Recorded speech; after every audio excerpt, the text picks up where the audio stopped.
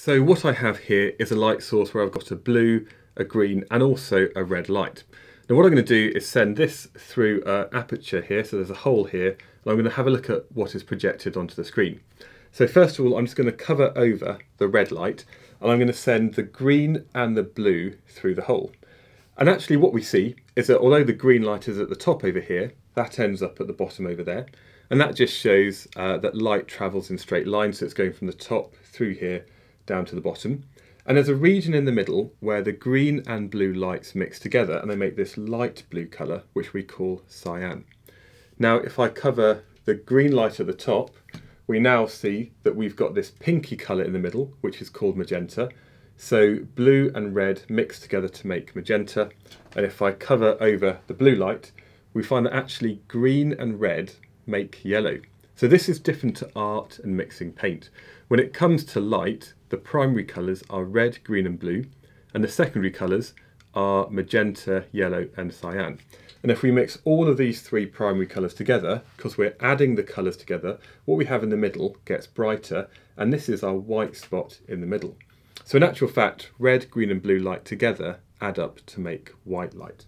And I think this is really pretty. The other thing we can have a look at here is some colour filters. So this first filter is a green filter.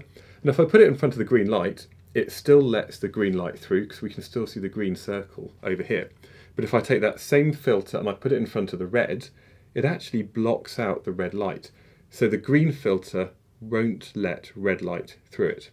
I've got another filter, this one's red, and if I put that red filter in front of the red LED now, we can see that the red light still gets through, but if I take that red filter and put it in front of the green, it absorbs all of the green light. So colour filters are useful, and I suppose depending on the colour filter, that tells you which colours of light it lets through and which colours are absorbed. So I've got four objects here, but what colour are they? Well, with a red filter, we appear to have a dark object, two lighter coloured objects and a dark object. If I then have a blue filter as well, if I hold this in front of the red filter, it actually filters out all of the light and we can't see anything.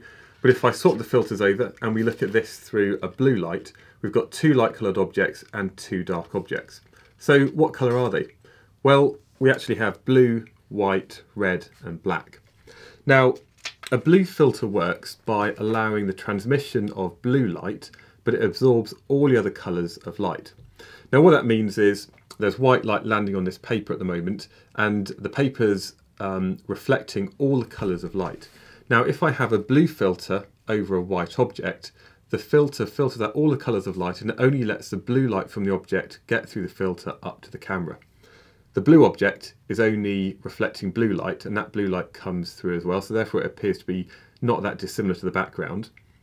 Um, but if I have a red object, this is reflecting red light and the red light doesn't get through the blue filter and therefore it all appears to be black.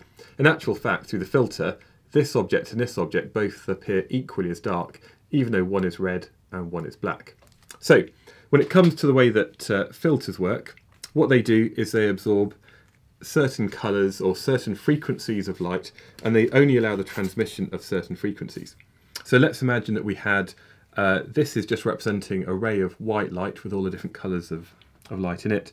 If I had a blue filter, then the blue filter would allow the transmission of blue light. I'm just going to draw that ray in like that. But this blue filter would absorb the green, it would absorb the red as well. Equally, if we had a red filter, the red filter absorbs the blue, absorbs the green, but it allows transmission of red light. And if I just draw that ray in like so, this is what we see with a red filter. And if we had two filters, so maybe we had the red and the blue like we saw, what happens then is if this is now a blue filter, that blue filter is going to absorb all of the red and therefore no light gets through. And that's what we saw when we had a red filter and the blue filter together. What we noticed was that no light gets through at all, it absorbs everything, and that's basically the way that filters work.